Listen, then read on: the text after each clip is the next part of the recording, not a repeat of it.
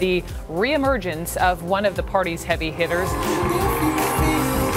Uh, if she does run, I think she has a great shot to be our nominee.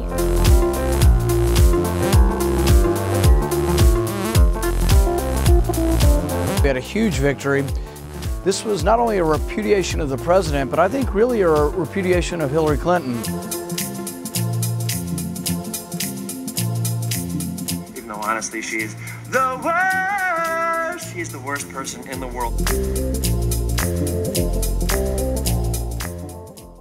Want more? Download the AJ Plus mobile app and join the conversation. Available in your App Store now.